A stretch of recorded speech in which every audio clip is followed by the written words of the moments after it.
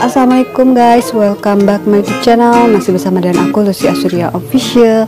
Terima kasih guys buat kalian yang udah subscribe channel aku dan buat kalian yang pertama kali datang jangan lupa guys untuk bantu subscribe-nya guys ya. Terima kasih guys.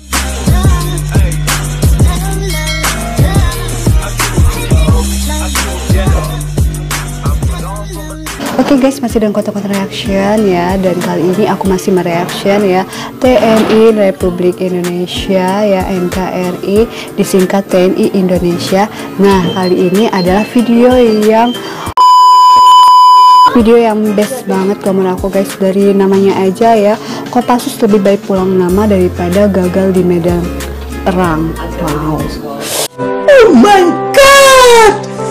Wow guys ya. Oke guys semoga kita nggak mewek ya nontonnya ya guys. Kita mesti kuat seperti bapak-bapak TNI yang begitu kuat banget ya kan luar biasa banget gitu kan yang tanpa ada status air mata pun. Hebat banget gue. Udah kita langsung aja guys. Dan di ini tuh diupload sama obrolan panas. Seperti apa videonya kita langsung aja yuk guys. Check it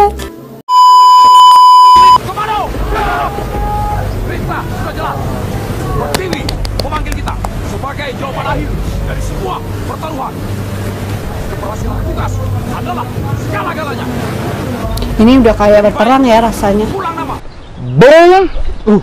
bam, oh, bap, bada bap, boom, pow.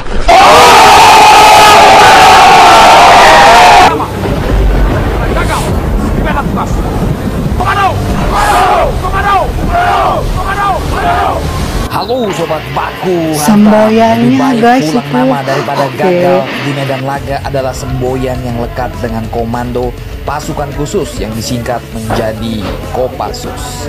Akhir-akhir ini topik mengenai pasukan khusus, mengenai pasukan elit Indonesia ini menjadi hangat kembali untuk diperbincangkan meskipun kita sering memperbincangkannya Aduh. atau para channel-channel okay. para pengamat militer abal-abal juga sering mengangkat tema ini.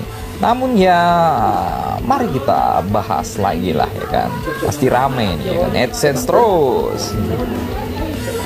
Kopassus merupakan bagian dari Komando Utama Kotama tempur yang dimiliki oleh TNI Angkatan Darat. Kopassus memiliki kemampuan khusus seperti bergerak cepat di setiap medan, menembak dengan tepat, pengintaian dan anti teror. Dengan motonya berani benar ya, berhasil. Ngeri bukan motonya? Jangan bercanda-bercanda bos kalau bahas Kopassus ya kan.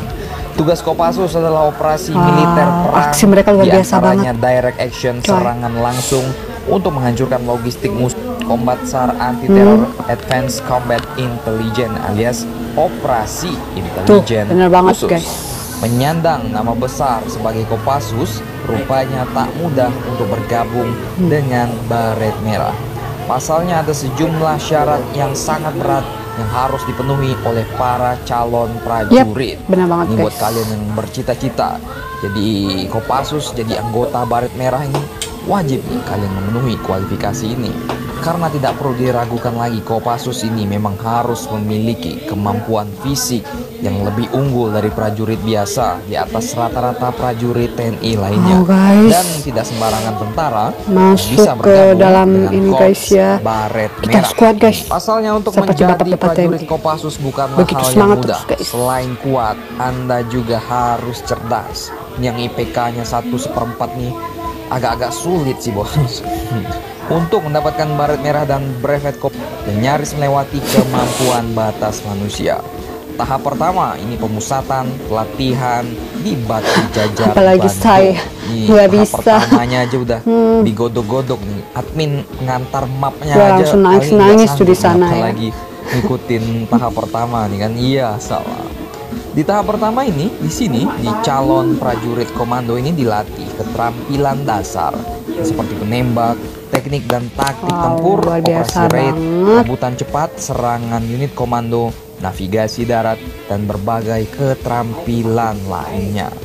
Sedangkan tahap kedua ini dilaksanakan di hutan gunung. Hmm. Buat kalian anak-anak gunung nih, bisa jadi kalian daftar Kopassus nantinya kan biar kalian tahu kerasnya survival di hutan.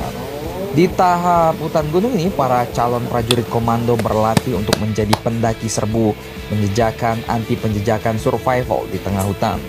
Dan dalam pelatihan survival, calon prajurit komando harus bisa bertahan dengan makan apa Alamak. adanya yang tersedia di hutan. Kalau ada monyet yang monyet yang dihajar, kalau ada ular ya ular yang dihajar, kalau nggak ada apa-apa ya Iya, makan biar bisa bertahan hidup. monyet, Benar. ya kan? Atau buah-buahan yang Hmm. tersedia di hutan. Pokoknya kalian harus bisa bertahan hidup di hutan. Asal hutannya nggak berubah jadi hutan sawit aja ya bos. Iya. iya, Menghasilkan iya, duit iya, dong. Iya salah. Pedas ini. Mau perang gerilya, eh hutannya jadi hutan Hmm. sawit. Gimana nih bapak Bisa aja lo? dah. Serius Semangat, Bang, semangat, Oke, kerja, kerja. Serius, serius, serius. Asma. Tahapan latihan hutan gunung diakhiri dengan long march Oh, dari ini situ Lembang ke ya, Cilacap guys. dengan membawa Aduh. amunisi, membawa Ini benar-benar tambang peluncur, kita boleh sedih, guys. senjata, Kita dan perlengkapan perorangan Ah, siap. Ah, siap. Ah, siap. Ah, siap. Ah, siap. Ah, siap. Ah, siap. Ah, siap. berat bagi orang awam dan bagi para pengamat militer abal-abal. Udah selesai? Belum bos. Selanjutnya calon prajurit komando ini berinfiltrasi melalui rawa-rawa laut. Di tahapan ini materi latihan meliputi navigasi laut, survival laut, pelolosan, renang ponco, dan pendaratan menggunakan perahu karet.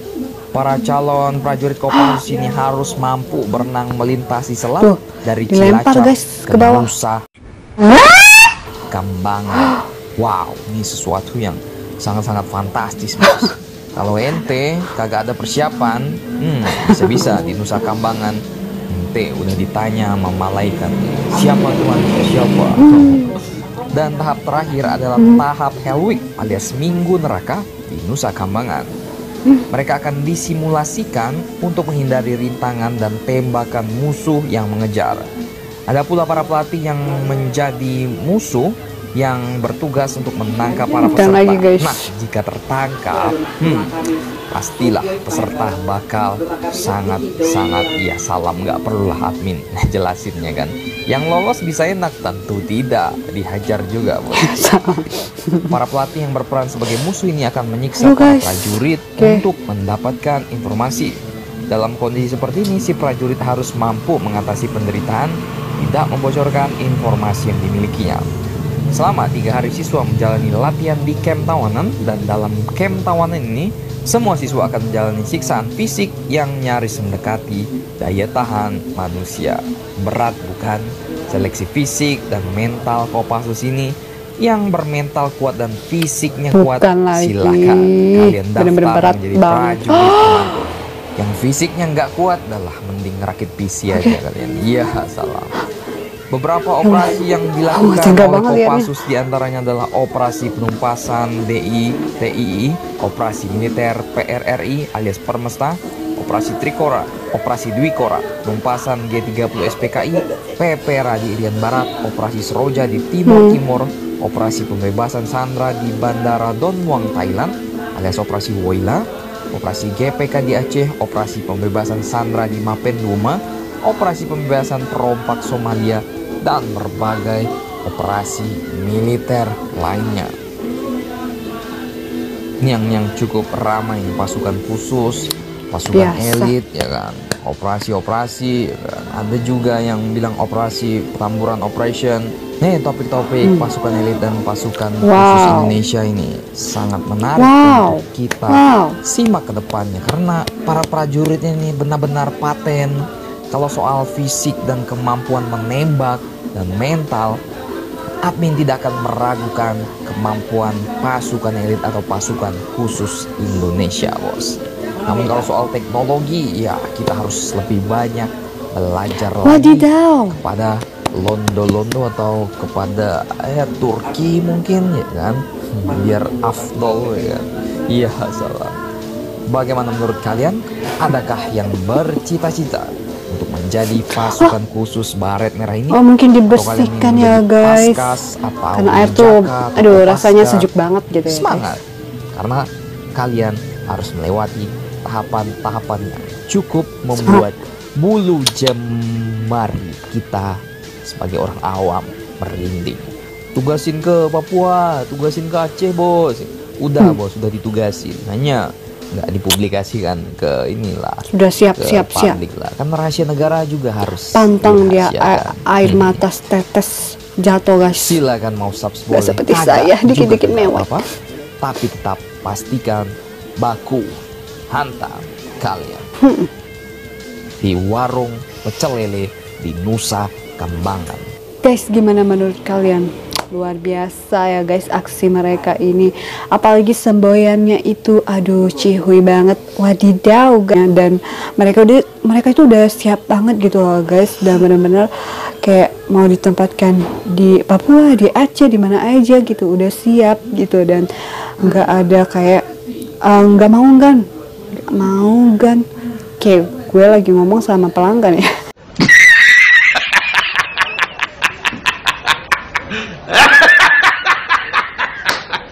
Jadi mereka itu pantang banget guys ya yang namanya meneteskan air mata. Apalagi ya mereka itu udah pokoknya udah siap banget mau diletakkan di mana aja diletakkan, diletakin di mana aja itu udah siap banget guys mereka. Oh my god. Wow. Luar biasa banget guys ya. Oke guys, gimana menurut kalian? Kalau kalian suka like and share, nggak suka udah skip aja videonya guys ya. Dan ditunggu untuk video-video aku selanjutnya. Dan buat kalian yang ingin request guys, jangan lupa guys cantumin guys untuk sumber uh, videonya guys ya. Terima kasih guys dan sampai jumpa.